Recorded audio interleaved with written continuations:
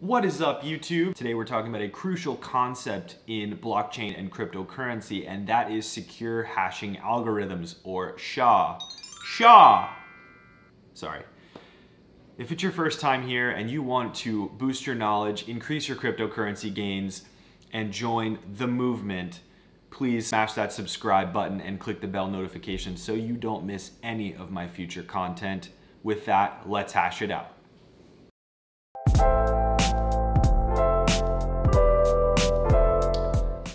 So guys, what the heck are secure hashing algorithms? I'm sure you guys have heard of algorithms like SHA-256, that's S-H-A-256, when talking about blockchain and you've read it in white papers, you've seen it on you know, on TechCrunch or on medium.com. Secure hashing algorithms are really just a function on the computer that allows a variable length input. So let's just say a number or you know, a word or something that has a variable or ever-changing length and takes that as an input and produces an output that is a fixed length. So let's just take my name, for example, Forrest. It's seven letters long. That data gets fed into the secure hashing algorithm and out pops 64 characters, a fixed length. And if I put in my cousin's name, Ev, I put in those two characters of data, out comes, you guessed it, 64 characters of data. So a variable length input to a fixed length output. And why should you care about secure hashing algorithms? Well, because secure hashing algorithms are actually the most crucial component of blockchain infrastructure and blockchain protocols. Secure hashing algorithms are really the, the method by which messages are authenticated and signed in blockchain protocols. So they're super important. And I want to make sure that you know that SHA or secure hashing algorithms are not in any way, shape, or form encryption. They are not built to be full-scale encryption mechanisms. They can be used in a similar fashion sometimes, but they are not encryption. Secure hashing algorithms are meant to be more of an authentication method, and they're meant to be super, super fast and lightweight.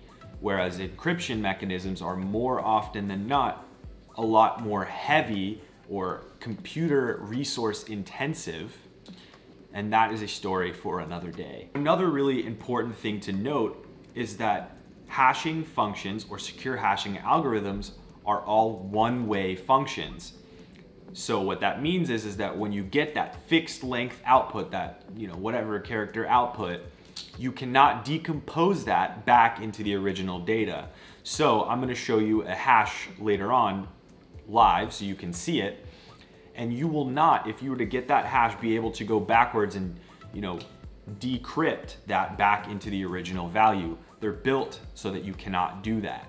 That is super important to note. Whereas encryption, you have to be able to decrypt the message or else it's useless. A lot of people wonder where the 256 comes from in SHA-256, which is right now sort of the, the gold standard and the most often used secure hashing algorithm. And to answer that question, we need to jump a little bit into bits and bytes as they relate to computers.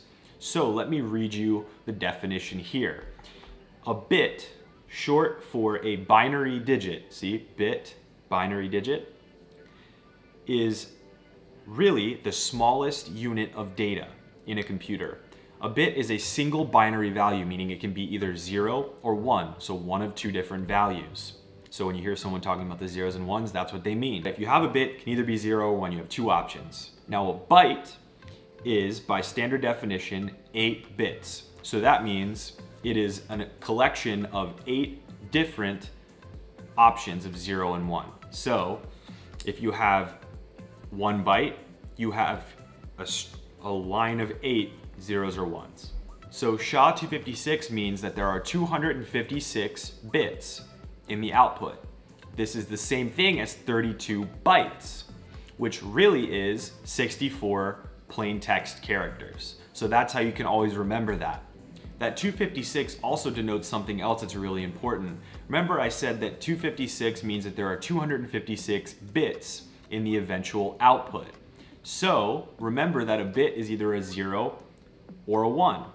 So that being said, since there are 256 of them, the number of different hashes that you can possibly have, so different collections of unique 64 character in plain text hashes is two, zero ones, to the 256 power. And that means that there are infinitely more different unique hash values or 64 character values possible with this algorithm than there are grains of sand on planet Earth. It is an amazing number of different unique hashes and this is really important for blockchain protocols because hashing is a crucial way by which transactions, blocks, and pretty much everything, including your own wallet addresses, are verified. So now let's go ahead and look at an example on the computer.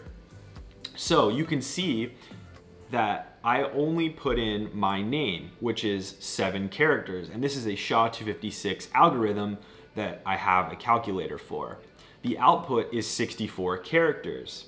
Now, if I go to this Word document and I paste in 1,000 characters into the same algorithm, you see 64 characters comes out. It's a unique 64 characters from my name, but it shows very, very simply to you that this hashing algorithm is super fast, first of all, and that the very, whatever the length of string or value that goes in, the same exact number of characters comes out.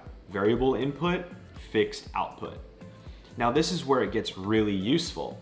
If I put my name back in and I just change the uppercase F to a lowercase, it changes the data that makes up my name on the computer. So when I run it through the hash algorithm again, it completely changes. So any minute change to the data going in completely changes the output hash.